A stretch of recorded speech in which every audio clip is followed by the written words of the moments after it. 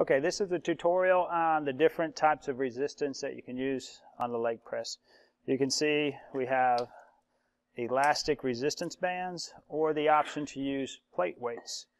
So you can just uh, alter or slide on the plate weights on the post, this mounting post here. Um, that's the same post that we would attach the bands to. You'll see as he pushes out further, that band gets tighter, which makes it a little bit more challenging. So it's nice to have the two because at the beginning, the plate weight creates that initial resistance while the band's on a little bit of slack. But then towards the latter part of that range, the band's tight. In that part, the, the plate weight wouldn't give as much resistance. Long story short, you get a nice, smooth arc of resistance all through the full range.